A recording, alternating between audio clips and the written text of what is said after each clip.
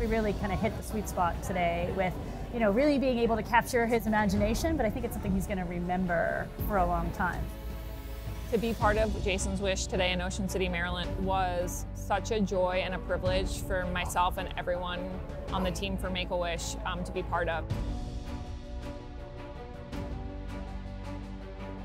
Walking around and seeing him be so engaged, I was excited to see that, right? That he was really willing to kind of be in character and let it go.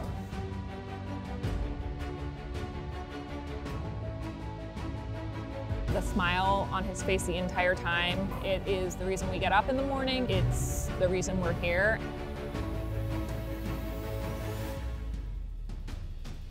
For him and his family to see that complete strangers are on their side and cheering them on, that's what makes Wishes extra magical.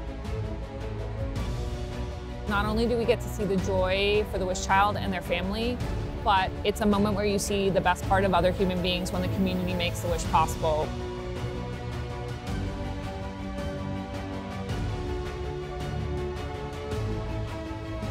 It's really nice to see people get behind Jason and get behind our family and really just kind of come together. For us, this is a celebration of what he's achieved, and it felt like that. Wishes are about more than just the child, their family. The truth is that the community are the heroes of our story with our Wish Kids.